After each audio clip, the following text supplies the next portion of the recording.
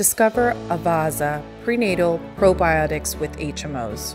What are HMOs? Human milk oligosaccharide, which is found in breast milk. You might be thinking, Am I taking human breast milk? The answer is no. Biotechnologists produce HMOs from enzymes using an innovative fermentation process. Avazza with HMOs will enhance your microbiome flora and provide you and your baby with a strong immune system. Learn more about Avazza today.